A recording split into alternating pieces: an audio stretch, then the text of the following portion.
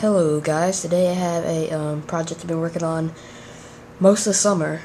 It's a 1-1 scale replica of a World War One helmet. And um,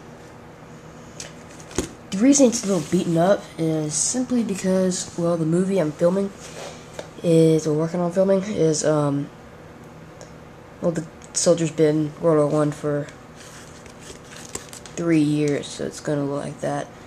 But that's just around the. I did that around the rim because that's pretty much what got the most battle damage. But as you can see on top, it doesn't have much. It's nice and smooth and very hard. And that's because the core is paper mache, but the outside of it is bondo, which is what they use to like repair small cracks in cars and everything. So it's very hard, and and that's just sanded a lot, like five hours of sanding. That's not hand sanding, that is electric sanding. And, um, well,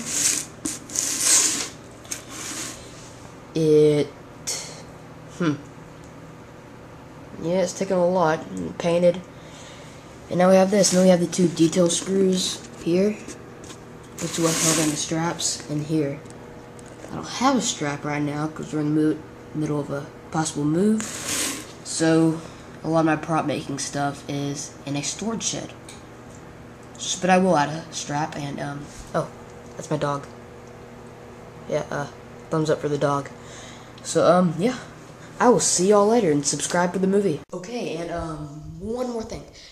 Um basically longer I've been working on the helmet, I have been working on an M1903 Springfield.